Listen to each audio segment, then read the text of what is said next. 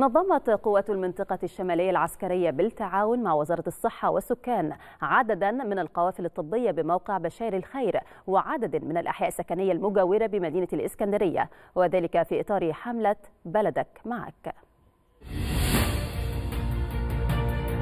استمرارا لجهود القوات المسلحة في دعم المجتمع المدني وتقديم كافة أوجه الرعاية الطبية والإنسانية والاجتماعية للمواطنين.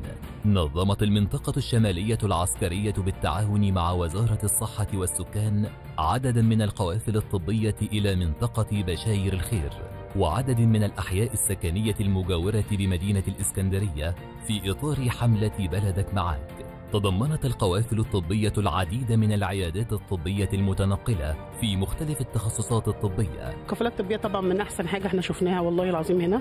آه، طبعا إحنا استفدنا منها كتير واستفدت منها حاجات كتيرة خالص ليا ولأولادي لأن إحنا عندنا أورام مزمنة. جميلة قوي جميلة قوي بصراحة ودي نفعتنا يعني نفع ربنا هي نفعتنا. لا لا لا الحمد لله رب العالمين. كفالة طبية وعلاجنا وما بندفعش جنيه.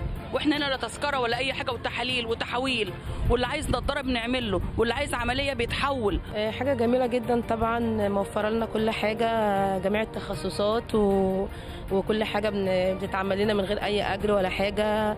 آه، كشف مجانا وعلاج مجانا و... يأتي ذلك انطلاقا من المسؤولية الاجتماعية التي توليها القوات المسلحة لكافة أبناء الشعب المصري لتقديم الخدمات الطبية المتكاملة. خاصة في المناطق الأكثر احتياجا بكافة محافظات الجمهورية.